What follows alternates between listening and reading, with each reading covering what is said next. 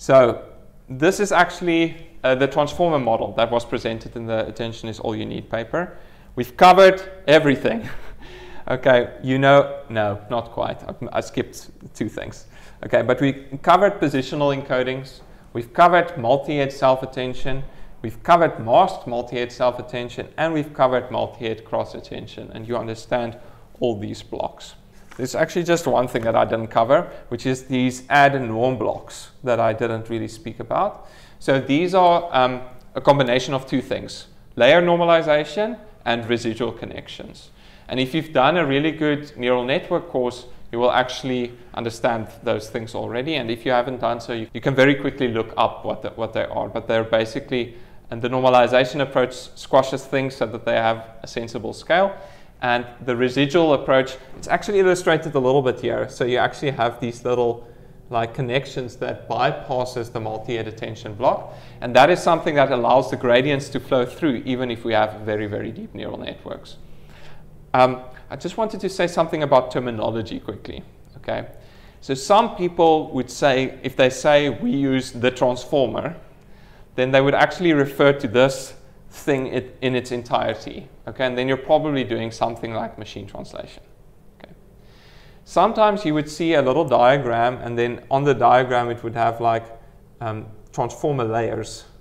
Trans it would just say transformer, and then that would go into I don't know a, a CNN for some weird reason.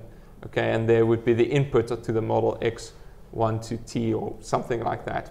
And if, if they do this, then really what they're talking about is a transformer layer. Okay? And a transformer layer, it's not defined precisely, but it's probably one of these blocks where you have self-attention, add norm, and a feed forward, and then another add norm. And one of these is a transformer layer. And here you can see that it's times n, so you can actually um, sequence those layers on top of each other.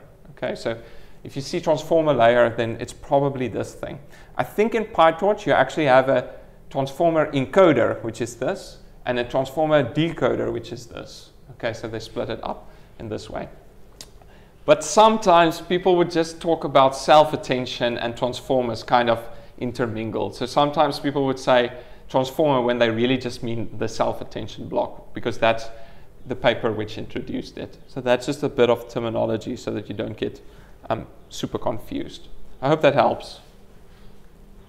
Um, okay, and I guess then the very last thing to say, GPT, uh, generative pre-trained transformer, this is the fundamental technology that it's based on, and this is really the core building block of a model like, um, like GPT. We haven't spoken about training strategies and things like that, and that's also really important.